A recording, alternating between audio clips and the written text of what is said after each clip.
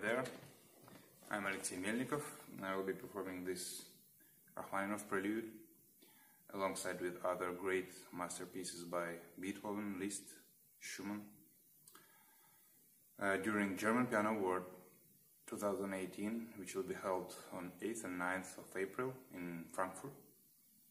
These pieces are really my all-time favorites, so I'm really excited. Hope to see you there.